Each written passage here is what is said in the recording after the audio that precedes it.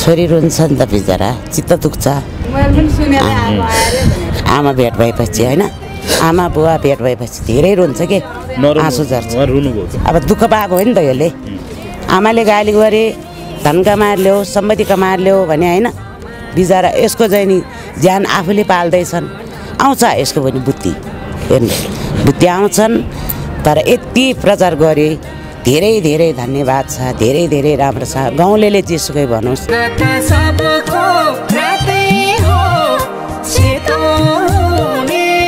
छ? जस्तो एउटा आमाको लागि त तपाईँको तिन भाइ छोरा त बराबर त होला नि होइन? छोरा हो। तपाईँहरू पनि मेटिङ साइडको सर भनौँ न एक होइन? हो कि होइन? त बराबर मलाई त। सात भए पनि बराबरै नै आठ भए भए पनि बराबरै नै बिसौँबाट भए पनि बराबरै तपाईँ पनि छोरै हो उहाँ मेरो छोरा पनि छोरै हो होइन? सबलाई माया बराबर संसारलाई।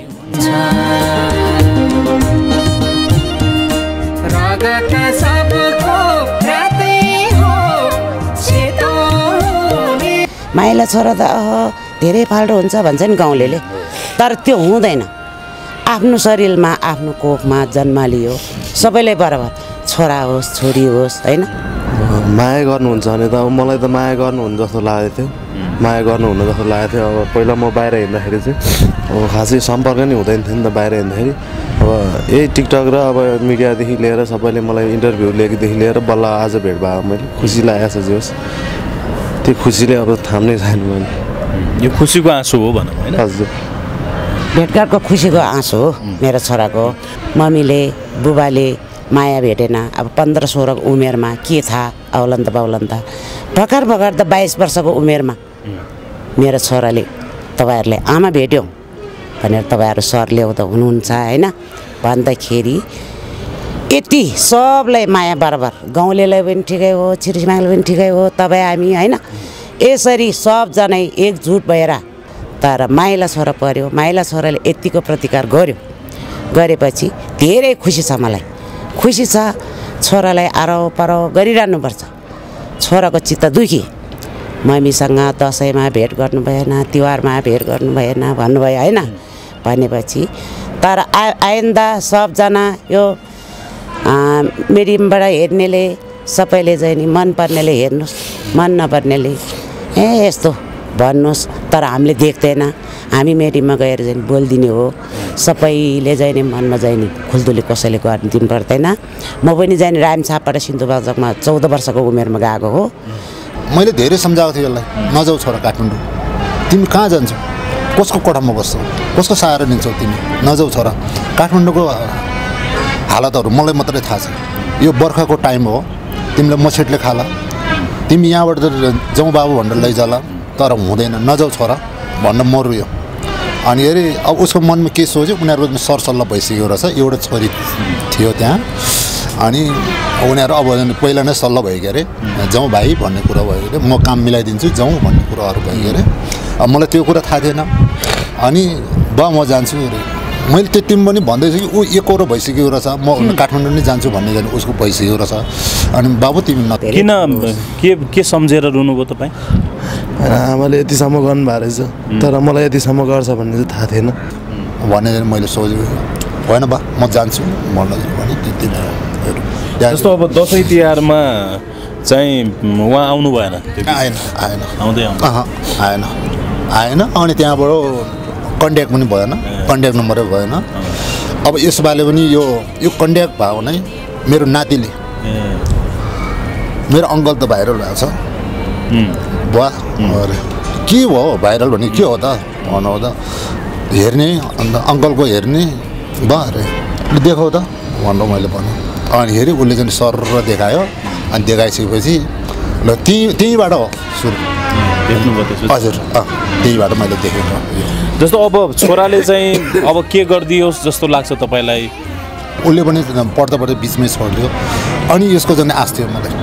एउटा न एउटाले मैले एसएलसीसम्म पास गरिदिन्छु। म जति जे गरेर भने पनि ढुङ्गा माटो झन् जे बोकेर भन्दा पनि पस पास गरिदिन्छु भन्ने सोचेको थिएँ मैले। अनि त्यो पनि मानेन। म जान्छु अरे। अनि जान्छु भनेपछि अनि मैले आँसुले केही पनि देखेन हेर्नु हजुर। अब सानो सानो चाहिँ अनलाइन सिक्यो। अब छोरा निसेर हिँड्यो। अनि हेर्दा मेरो एकजना साथी आएको थियो। अनि के भयो तपाईँलाई? भएन मैले मलाई केही पनि भएन। भन्यो मैले बोल्नु सकेन। आँसुले गर्दा मैले बोल्नु सकेन। मलाई केही पनि भएको छैन भन्नु। मैले एकरो मात्रै बोल्यो अनि त्यसको पछाडि सर हिँड्यो। अनि सर हिँडिसकेपछि बिस बिस मिनट जति पछाडि पारिपट्टि मैले देखेँ छोरालाई म चाहिँ त्यस्तो छैन हजुर। म चाहिँ तिनै भाइलाई म बराबर भएँ हेर्नुहोस्। उहाँलाई चाहिँ किन परेछ कि त्यस्तो हो कि मलाई बुवा आमाले अरूभन्दा अलिकति कम माया गर्नुहुन्छ कि भन्ने परेछ कि उहाँलाई? होइन होइन होइन। होइन मलाई पराएको चाहिँ त्यही पराएको थियो। अब म बाहिर हिँडेको थिएँ नि त सानैदेखि। त्यही भएर सानैदेखि बाहिर हिँड्दाखेरि अब माया घरको माया पनि पाएन नि त खासै। नमस्कार दर्शकहरू सम्पूर्ण मिडियामा स्वागत छ। म प्रेम पुनको तर्फबाट। आज हामीले टिकटकमा निकै नै भाइरल ह्यान्डसम ड्राइभर भनेर चिनिएका सबिन लामाको घरमा आइपुगेका छौँ र उहाँको बुवा आमासँग आज हामी कुराकानी गर्दैछौँ। आज सम्भवतः यो लामो समयपछि सबिनजीले आफ्नो बुवा आमालाई भेटाउनु भएको छ। उहाँको केही दुखेसो पनि थियो कि बुवा आमासँग।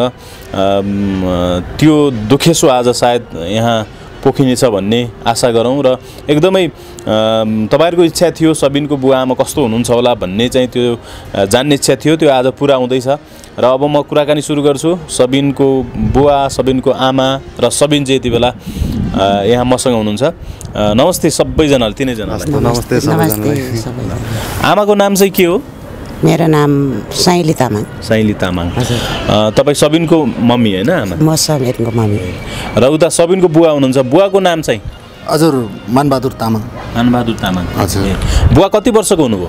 म बाइस सालको जन्म पचपन्न वर्ष। पचपन्न वर्ष भइसक्यो। हजुर। है? हजुर। बुवाले के काम गर्नुहुन्छ? हजुर मेरो काम छैन। केही न केही त गर्नुहुन्छ। केही पनि छैन हजुर। हजुर? छैन बस्ने मात्रै? हजुर। यसो बस्ने भन्दाखेरि खाने बाटो यता उता गर्छु त्यस्तै हो। अनि आमाले के गर्नुहुन्छ? आमा चाहिँ व्यवसाय यस्तै गाउँबाट आएको हामी डेढ वर्ष भयो। हजुर। होइन? हजुर। अनि अहिले एकान्तको नाममा सानो पसल।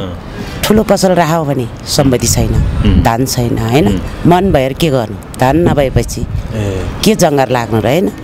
त्यही भएर मनको ठुल्ठुलेहरू अनि सानो पसल गरिराखेको छ। मेरो छोरा आज माइला छोरा हो। चाहिँ माइलो छोरा हो। माइला छोरा हो। तर मैले काखमा बोकी गर्भमा बोकी गर्भवतीमा होइन? जन्म दिएँ मैले। बाबा हुनुहुन्छ यहीँ। घरमा दिएँ। म आमाले मादरे आमाले जन्म दिएँ। हजुरहरूलाई पनि थाहा हुनुहुन्छ होला। सबैले सुन्नुहोस् होइन? आजको दिनमा मेटी भनेर चिनेको थिएन। है। कुरा अझै बाँकी नै छन्। तर आफ्नै जाने गर्भवतीमा बालबच्चा भगवान्ले बनाइदिएछन् मेरो छोरा। पाँच भाइको छोराको मम्मी मै हुँ होइन? मै हुँ भन्दाखेरि तिनवटा छोरा स्वर्गलोकमा जानु के अरे दुईवटा छोरा स्वर्गलोकमा जानुभयो। अब तिन भाइ छ। तिन भाइ छोरामा तिनै भाइ ड्राइभर। सुन्नुहोस् है गाउँलेले पनि सबैले इष्ट मित्रले होइन धेरै सुन्नुहोस् मेडियम भनेको हामीलाई थाहा थिएन अहिलेसम्म नाम पनि आउँदैन भनेपछि चाहिँ आफूले चाहिँ बा बुबाले जन्म दियो मेरो छोराले धेरै चाहिँ नि सोह्र वर्षको उमेरमा गाउँ छोडेर हिँडी पढाइ लेखाइ गर्दै थिएँ नौ महिनासम्म बिरामी भए धेरै दुःख भोगी आमाले चाहिँ जस्तो तपाईँको छोराको भिडियो हेर्नुभयो हजुर हेर्नु कस्तो लाग्यो भिडियो चाहिँ भिडियो हेरेँ है। तर ठिक छ मेरो मनमा चाहिँ। गाउँलेलाई जस्तो भए पनि हङ्गाङ बस्ने बेङ्गाङ बस्नेलाई चाहिँ खुसी लाग्यो होला। गाउँलेलाई छिरछिमेकीलाई दाजुभाइलाई कस्तो लाग्यो होला होइन? तर यो बोलाइमा हिँडाइमा आफूले भोगेको कुरामा मात्रै थाहा हुन्छ। हेर्नुहोस् होइन? जहाँ आफूले जुन लेभल गर्यो त्यही थाहा हुन्छ। तपाईँहरूले पनि यस्तै गरेर सम्हालेर लानुहोस् छोराहरू। बच्चालाई काम हराउने सिप हराउने। एकदम लेभलमा राख्ने बाउ आमाले हो। आतक्ष र सतक्ष मिलेर छोरालाई एकदम इमान्दार बनाउने। छोरा यसरी आउनु यसरी चाहिँ नि पद ल्याउनु गरेर आज मेरो छोरा बिग्रेला भन्ने सोचाइमा थियो मलाई। सब्रेर आएँ। यति चाहिँ खुसी लागेको छ। खुसी लागेको छ? यति चाहिँ नि म बोल्नु पायो मेरो मरिसकेको छोरा बाँझ्यो। मेरो कानै च्यातेको मेरो कपालै तानेको छोरा कसैले बाँच्दैन भनेको थियो। नौ महिना बिरामी भयो। पहिला बिरामी हजुर धेरै धेरै धन्यवाद धेरै धेरै खुसी छ। मेरो छोराले यो यति इमान्दार गर्ला भनेको मलाई एकदम चिन्ता थिएन। धेरै धेरै धेरै धेरै पिर थियो कि मलाई। तर मेरो यो छोरा संसार पुगे संसार घुमे। उसकै मन खुसीले टिकटाक बनाउनु भएछ। तर मलाई धेरै धन्यवाद छ। अरूलाई जे जस्तो भए पनि बाउआमा। अँ बाउआमालाई मेरो जय नि सिस्नो खाएर हरियो सागपात खाएर दुध खुवाइदिए। मैले हुर्काएँ। थाङ्ना धुई सबैजनाले जन्म त दिएको हुँ। तर काठमाडौँ ठाउँमा बिल्डिङ नभए पनि मेरो छोरा पहिला खलासी थिए। घरबाट निस्किसकेपछि खलासी थिए। खलासीबाट जहिले कन्डक्टर बने। अहिले त ड्राइभर भइसक्यो। अहिले त ड्राइभर हुनुभएछ धेरै धन्यवाद छ। म चाहिँ नि पाँच बहिनीमा एकजना छोरी ल एकछिन म म तपाईँको छोरालाई सोध्छु है एकछिन। जस्तो अब आज लामो समयपछि भेट्नु भएको छ तपाईँले होइन? तपाईँलाई कस्तो लागिरहेछ? मलाई धेरै खुसी लागेको छ भन्न मतलब खुसीले अब आँसु आइरहेको छ त्यही। कति समयपछि भेट्नुभयो अहिले यो? धेरै समय भएको थियो घरमा त थुप्रै भएको थियो। म छ वर्ष भइसक्यो। भेट भएको चाहिँ आजै भेट भएको। धेरै पछि भेट भएको। भन्नाले जस्तो म, यो बिचमा जस्तो आज अब तपाईँ प्रत्यक्ष रूपमै यहाँ आउनु भएको छ होइन? हजुर। एकदम प्रत्यक्ष रूपमै हो मेरो छोरा। छोरी रुन्छ नि त बिचरा चित्त दुख्छ। आमा भेट भएपछि होइन? आमा बुवा भेट भएपछि धेरै रुन्छ कि? आँसु झर्छ। अब दुःख पाएको हो नि त यसले। आमाले गाली गरे धन कमाएर ल्याऊ सम्पत्ति कमाएर ल्याऊ भने होइन बिचरा यसको चाहिँ नि ज्यान आफूले पाल्दैछन्। आउँछ यसको पनि बुद्धि हेर्नु बुद्धि आउँछन् तर यति प्रचार गरे धेरै धेरै धन्यवाद छ धेरै धेरै राम्रो छ। गाउँले जेसुकै भनोस् मेरो छोराको मनको खुलबुली तर म मेटाइदिँदैन धेरै सम्पत्ति किन के के सम्झेर रुनुभयो तपाईँ होइन आमाले यतिसम्म गर्नुभएको रहेछ तर मलाई यतिसम्म गर्छ भन्ने चाहिँ थाहा थिएन अब म यतिसम्म पुगेँ अब मम्मी बुवाहरूले हेर्नुहुन्छ भन्ने चाहिँ थाहा थिएन मलाई पछि आएर हेरिदिनु भयो खुसी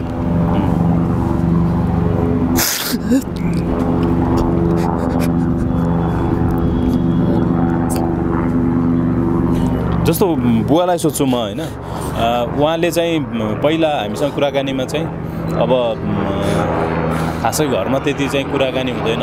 सायद मलाई चाहिँ बुवा आमाले त्यति धेरै माया गर्नुहुन्न कि जस्तो लाग्छ भन्ने कुरा गर्नुभएको थियो कि। के भन्नुहुन्छ बुवाले चाहिँ? मेरो तिन भाइ छोरो हो। तिन भाइ छोरोमा म त- तिनै भाइलाई म बराबर माया गर्छु। हेर्नु। अब साथमा भएको भए पनि यस्तो छोरो उस्तो छोरो भन्नु। अब ऊ उसको बाटोबाट छ म मेरो बाटोबाट छ। अनि कसरी भेटघाट हुनु? उसले त्यही भयो होला। अब आमाले बुवाले मलाई अलि पर नै सोध्ने हो भन्नेतिर लाग्यो होला तर म त्यसो गरेर हेर्नु। तर घरको माइलो छोरालाई अलिकति हुन्छ नि अवहेला नै गर्छन् भन्ने सुनिन्छ नि होइन? म- चाहिँ- धेरै ठाउँमा। म चाहिँ त्यस्तो छैन हजुर। म चाहिँ तिनै भाइलाई म बराबर हो हेर्नुहोस्। उहाँलाई चाहिँ किन परेछ कि त्यस्तो कि मलाई बुवा आमाले अरूभन्दा अलिकति कम माया गर्नुहुन्छ कि भन्ने परेछ कि उहाँलाई? होइन होइन होइन। होइन मलाई पराएको चाहिँ त्यही पराएको थियो। अब म बाहिर हिँडेको थिएँ नि त सानैदेखि। त्यही भएर सानैदेखि बाहिर हिँड्दाखेरि अब माया घरको माया नि पाएन नि त खासै। पन्ध्र वर्षदेखि बाहिर हिँडेको त्यही भएर अनि अब माया नलाने भने त बाउ आमाको माया नि खासै पाएन नि त पन्ध्र वर्षदेखि चाहिँ। त्यही भएर नि चित्त दुख्छ अब। जस्तो एउटा आमाको लागि त तपाईँको तिन भाइ छोरा त बराबर त होला नि होइन? बराबरै छोरा। हो। तपाईँहरू पनि मेटिङ साइडको सर भनौँ न एक होइन? हो कि होइन बराबर मलाई त। सात भए पनि बराबरै नै आठ भए भए पनि बराबरै नै बिसौँबाट भए पनि बराबरै तपाईँ पनि छोरै हो उहाँ मेरो छोरा पनि छोरै हो होइन? सबलाई माया बराबर संसारलाई बराबर। एउटै लाम्डा दुध खाएको हो तर आमाको चाहिँ आमा र बुबाको चाहिँ त्यस्तो पर पर माया हुँदैन कुनै हालतमा। जस्तै मान्छेले बाहना गरे पनि एउटा कुरा गरे पनि माइला छोरा त अह धेरै फाल्टो हुन्छ भन्छ नि गाउँले तर त्यो हुँदैन। आफ्नो शरीरमा आफ्नो कोखमा जन्म लियो। सबैलाई बराबर। छोरा होस् छोरी होस् होइन? तर मेरो चाहिँ छोरी चाहिँ छैन नै। ठिकै छ मलाई छोरी नभए पनि। अब मेरो छोरै त यस्तो अब छोरी जस्तो जन्म लिएर टिकटाकमा मम्मीले बुबाले माया भेटेन। अब पन्ध्र सोह्र उमेरमा के थाहा औलन्त बाउलन्त भर्खर भर्खर त बाइस वर्षको उमेरमा। मेरो छोराले तपाईँहरूले आमा भेट्यौँ भनेर तपाईँहरू सर ल्याउँदा हुनुहुन्छ होइन? भन्दाखेरि यति सबलाई माया बराबर। गाउँलेलाई पनि ठिकै हो छिरिमाईलाई पनि ठिकै हो तपाईँ हामी होइन? यसरी सबजना एकजुट भएर छोरालाई रुवाउनु पनि भएन। तर मेरो छोरा रुयो। ऊ छोरी जस्तो जन्म लिनु पर्ने रहेछ। तर माइला छोरा पर्यो माइला छोराले यतिको प्रतिकार गर्यो। गरेपछि धेरै खुसी छ मलाई। खुसी छ छोरालाई आरो परो गरिरहनुपर्छ। छोराको चित्त दुखी। मम्मीसँग दसैँमा भेट गर्नु भएन तिहारमा भेट गर्नु भएन भन्नुभयो होइन? भनेपछि तर आ आइन्दा सबजना यो मिडियमबाट हेर्नेले सबैले चाहिँ नि मनपर्नेले हेर्नुहोस् मन नपर्नेले ए यस्तो भन्नुहोस्। तर हामीले देख्दैन। हामी मेरिममा गएर चाहिँ बोलिदिने हो। सबैले चाहिँ नि मनमा चाहिँ नि खुल्दुली कसैले गरिदिनु पर्दैन। म पनि चाहिँ नि रामछापबाट सिन्धुपाल्चोकमा चौध वर्षको उमेरमा गएको हो। अहिले चाहिँ सबिन तामाङ भनेर धेरैले चिन्नुहुन्छ होला। तर बाबा बाबा मम्मीले त चिनेको त छैनन्। भन्दाखेरि आज हामी भेट भएको छौँ। सबैजनालाई मेरो छोरोको लागि मन खुसी बनाउनको लागि एउटा टिकटक बनाएछन् तर म त्यति चाहिँ लेखाइ पठाइ पनि छैन। मोबाइल खेल्न आउनु आमालाई चाहिँ टिकटक भने थाहा छ कि छैन? हजुर मलाई टिकटक भनेको पनि थाहा छैन। यस्तो बोल्नुपर्ने भनेको आजकै दिनमा हो। मैले यसरी मुखमा चाहिँ नि बोल्ने। तर कहाँ पुग्नु पर्ने रे भन्थ्यो हामी घाँस काट्थेँ स्याउल काट्थेँ गाउँघरमा बस्दा। ए उहाँ कहाँ ओके म चौतारमा जानुपर्छ छोरालाई। सोध्छु अब सुनिहाल्नुभयो बुवाको कुरा पनि आमाको कुरा पनि होइन। अब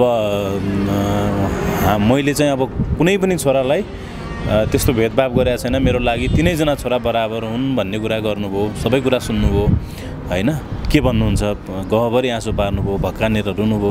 धेरै लामो समयपछि भेटघाट भएको छ होइन के भन्नुहुन्छ बुवा आमालाई? माया गर्नुहुन्छ भने त अब मलाई त माया गर्नुहुन्न जस्तो लागेको थियो। माया गर्नुहुन्न जस्तो लागेको थियो। अब पहिला म बाहिर हिँड्दाखेरि चाहिँ अब खासै सम्पर्क नै हुँदैन थियो नि त बाहिर हिँड्दाखेरि।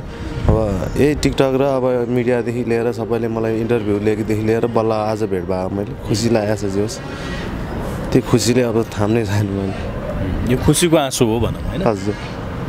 भेटघाटको खुसीको आँसु हो मेरो छोराको? आमा सोह्र वर्षको उमेरमा उहाँ छोडेर जानुभयो नि भन्नाले घर छोडेर जानुभयो। त्यति बेला चाहिँ के भनेर जानुभएको थियो उहाँ? अथवा भागेर जानुभएको थियो कि कसरी। कसरी जानुभयो? भागेर। हजुर। म जे पनि काम गर्छु मम्मी हे तेरी यो पढ्यो मलाई पढाइ पनि दिमाग यस्तो भयो। म यस्तो सोझो सिधा मान्छे। मेरो मन है सोझो सिधा मान्छे कसरी खाला छोरा तिमीले? भन्दाखेरि म जे पनि काम गरेर खान्छु। मेरो शरीर राम्रो होस् मम्मी यस्तै भयो म रोगी।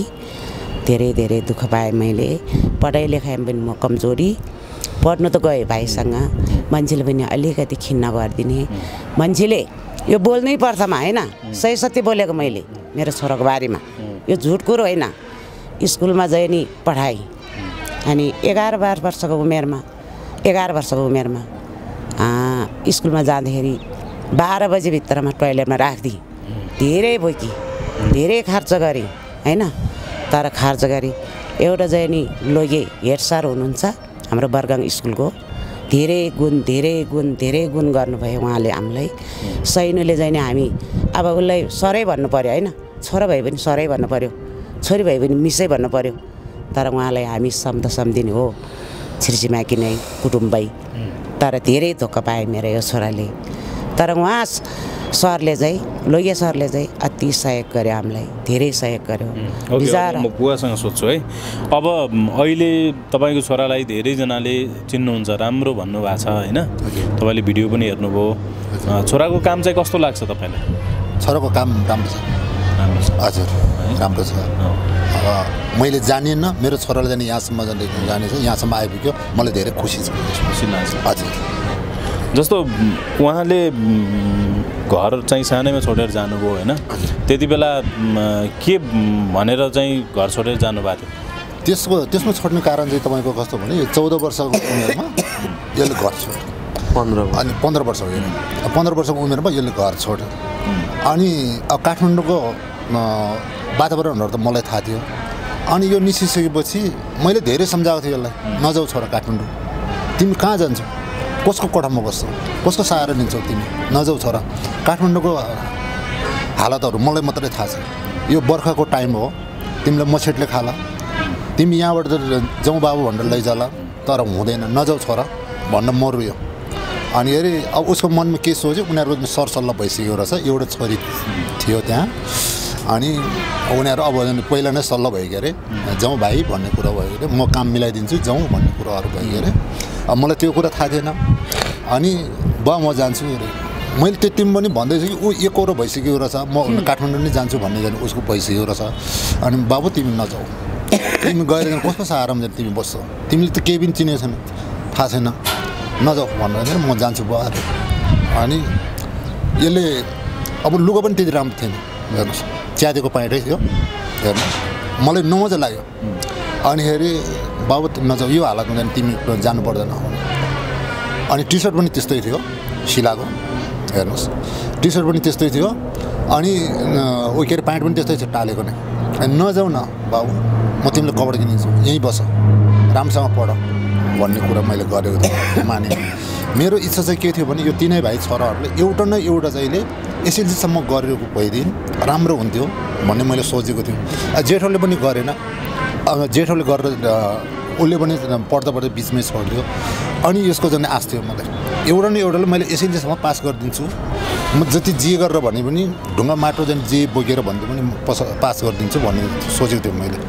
अनि त्यो पनि मानेन। म जान्छु बा अरे। अनि जान्छु भनेपछि अनि मैले आँसुले केही पनि देखेन हेर्नु। हजुर। अब सानो सानो चाहिँ आउनु लागिसक्यो अब छोरा निस्केर हिँड्यो। अनि हेर्दा मेरो एकजना साथी आएको थियो। अनि के भयो तपाईँलाई भएन मैले मलाई केही पनि भएन। भनेर भन्यो मैले बोल्नु सकेन। आँसुले गर्दा मैले बोल्नु सकेन। मलाई केही पनि भएको छैन भनेर मैले एकरो मात्रै बोलेँ अनि त्यसको पछाडि छोरा हिँड्यो। अनि छोरा हिँडिसकेपछि बिस बिस मिनट जति पछाडि पारिपट्टि मैले देखेँ छोरालाई हिँडिरहेको छ। लुटुक किन हिँडिरहेको छ? बस चढ्ने ठाउँसम्म मैले यसको पाइलो गर्नु हेर्नुहोस्। अब मेरो छोरा अब भरेदेखि यसले के गरेर खाला? अब यहाँ हुन्थ्यो त यसले जाने आमा बाउले जाने पकाएको जाने खान्थ्यो। हो भन्नेतिर पनि डर लाग्यो अहिले लागिसकेपछि गयो ऊ बस चढेर गयो। अब मोबाइल सोबाइल त्यतिर जाने थिएन हेर्नु। अनि पछि हुँदा हुँदा हुँदा हुँदा अनि त्यसै भयो। अनिखेरि यसले दुई वर्ष अलमल गर्यो यसले काठमाडौँ। हेर्नु। दुई वर्ष अलमल गरिसकेपछि यसले धेरै अ, काठमाडौँमा कामहरू गर्यो। गिटी बोक्ने बालुवा बोक्ने इँटा बोक्ने रड सड यता र उता उता काम समायो यसले। अनि समाएपछि दुःख नगर्यो भने यसले दुःख गर्यो हेर्नु। अनि त्यसको पछाडि यसलाई अब कुन त्यस्तै फेरि एउटा फेला परेछ। अनि त्यहाँबाट गाइडलाइनमा गयो। अनि गाइडलाइनमा गइसकेपछि यो मसित अनि अनि मैले त्यो काम छोडिसकेपछि बाबु तिमी नजाऊ। तिमी सानै छ। अरूले ठुलो देखे त भने मेरो नजरमा तिमी चाहिँ सानै छ। नजाऊ छोरा बस। जे जस्तो गर भने म पाल्छु। भनेर मैले सोचेको होइन बा म जान्छु। भन्न भने त्यति नै जस्तो अब दसैँ तिहारमा चाहिँ उहाँ आउनु भएन। आएन आएन। आउँदै आएन। आएन अनि त्यहाँबाट कन्ट्याक्ट पनि भएन। कन्ट्याक्ट नम्बरै भएन। अब यसपालि पनि यो यो कन्ट्याक्ट भयो भने मेरो नातिले मेरो अङ्कल त भाइरल भएको छ। बुवा अरे के हो भाइरल भने के हो त? भन्नु त। हेर्ने अन्त अङ्कलको हेर्ने। बा अरे लु देखाउ त। भनेर मैले भनेँ। अनि हेरेँ उसले चाहिँ सर देखायो। अनि देखाइसकेपछि ल त्यहीँ त्यहीँबाट हो सुरु। हजुर अँ त्यहीँबाट मैले देखेको। जस्तो अब छोराले चाहिँ अब के गरिदियोस् जस्तो लाग्छ तपाईँलाई? हजुर अब यहाँसम्म गरेको रहेछ मेरो छोराले। मलाई केही थाहा थिएन हेर्नु। अब मैले पाल्नु पऱ्यो पनि छैन। उसको खुट्टामा ऊ आफू नै हिँड्दैछ टेक्दैछ। अझ योभन्दा पनि गरोस्। अझै राम्रो अझ राम्रो गरोस्। होइन त? भन्नु भन्ने इष्टमित्रको चाहिँ नाक राखोस्। हेर्नुहोस् इज्जत राखोस्। नराम्रो काममा कहिले पनि नपरोस् भन्नेतिर म सोच्छु। अब आमालाई चाहिँ के लाग्छ? अब छोराले के गरिदिए भने के गरिदियोस् भन्ने लागेको छ तपाईँलाई? ए मलाई त छोरालाई झन् धेरै पद पाएँ धेरै बुद्धि आए धेरै ज्ञान आए होइन? बिकु काम नगरी इमान्दारमा हिँडी धेरै सही। धेरै सही। अझै आशा- राम्रो। अझै राम्रो। अझै राम्रो। तिन भाइ नै एकदम बराबर। माइलाले यस्तो गरे अरे जेठाले यस्तो गरे अरे कान्छाले यस्तो गरे अरे एकदम राम्रो होस्। हजुरबाको पनि इज्जत रहोस् हजुरआमाको पनि इज्जत रहोस् हामीलाई धेरै धेरै गाउँलेले हेप जेप गरेको थिए। आफन्त भन्ने कोही छैन भनेर। अब तपाईँको मेरो छोराको बुबा होइन मेरो श्रीमान।